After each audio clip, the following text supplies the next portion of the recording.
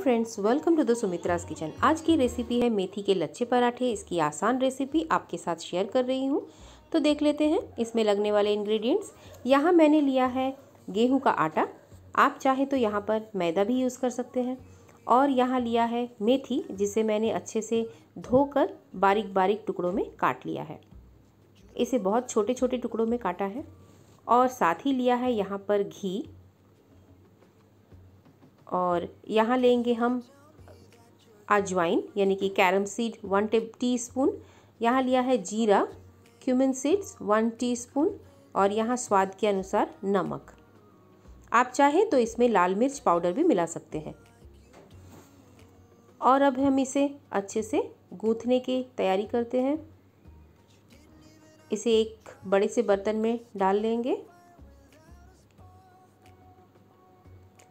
Add करेंगे इसमें अजवाइन, जीरा, स्वाद के अनुसार नमक और मेथी के कटे हुए सूखे पत्ते। इसमें पानी नहीं हो तो ही अच्छा है। इसे अच्छे से धोकर पहले एक जाली में डाल दें ताकि सारा पानी सूख जाए।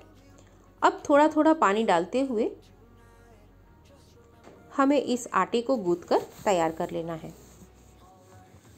आटे को बहुत ज़्यादा नरम ना गूँथे और ना ही बहुत ज़्यादा सख्त।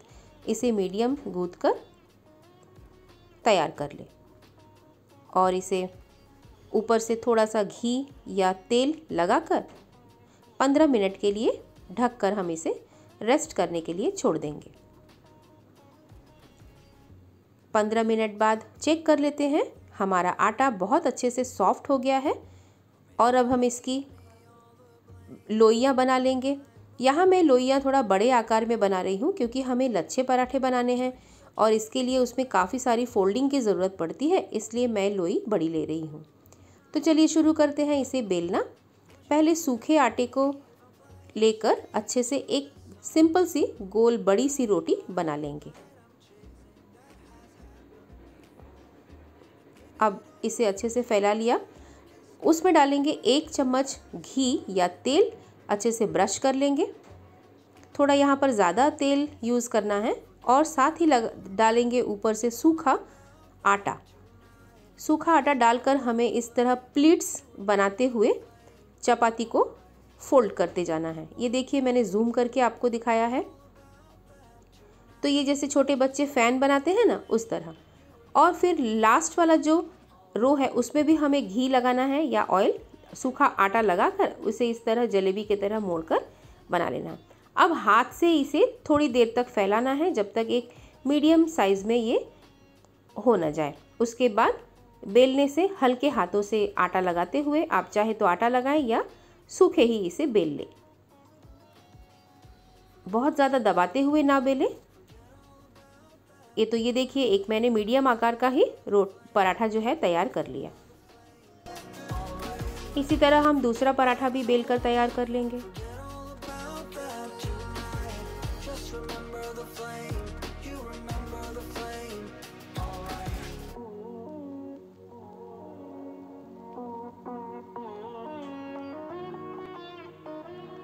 इसी तरह बाकी बचे हुए सभी लोइयों को मैं बेल कर पहले तैयार कर लूँगी।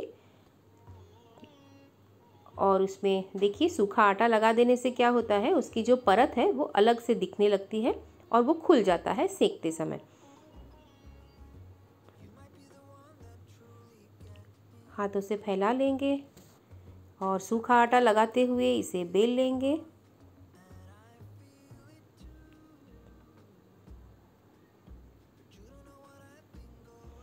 तो चलिए चलते हैं अब तावे की तरफ़।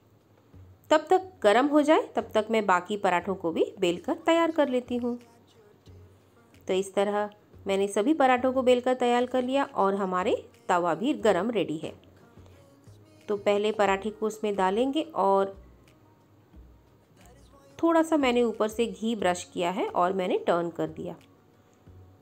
अगर आप तवे पर तेल डाल या घी डालकर डायरेक्ट पराठा डालते हैं ना तो वो बहुत ज़्यादा तेल या घी एब्जॉर्ब कर लेता है। इसलिए पहले थोड़ा सा सेक ले, उसके बाद ही घी या तेल लगाएँ। तो तेल और ये घी कम खाना ही अच्छा है, इसलिए थोड़ा सा हेल्दी साइड भी देखना पड़ता है। तो ये देखिए किस तरह से परत भी खुल रही है, बहुत सुंदर लग रहा है। तो ये हमारा लच्छा पराठा बिल्कुल सक्सेसफुल है और बहुत ही अच्छा सॉफ्ट बन के तैयार हो जाएगा। तो इस तरह इसे अच्छे से सेक लेंगे, क्योंकि मैंने यहाँ पर घी या ऑयल जो भी है वो कम अप्लाई किया है। आप अपने स्वाद के अनुसार अप्लाई कर सकते हैं। मैं यहाँ ब्रश से यूज़ कर रही हूँ घी। और इसे इस तरह से घुमाते हुए हम अच्छे से सेंक लेंगे। देखिए किस तरह से परत दर परत खुल रही है। ये जितने अच्छे से सीखेगा और इसकी परतें खुलेंगी मतलब ये चपा, ये जो पराठे हैं, ये इतना ही सॉफ्ट बन के तैयार हो जाएगा। तो ये बन के तैयार हो गया हमारा मेथी के लच्छे पराठे। आप चाहे तो इसकी जगह पालक भी यूज़ कर सकते हैं। वो भी इस खाने में बहुत स्वादिष्ट बनता है। और अगर आप हरे पत्ते आपको मेथी के नहीं मिलते हैं तो आप कसूरी मेथी से भी ये पराठे बना सकते हैं।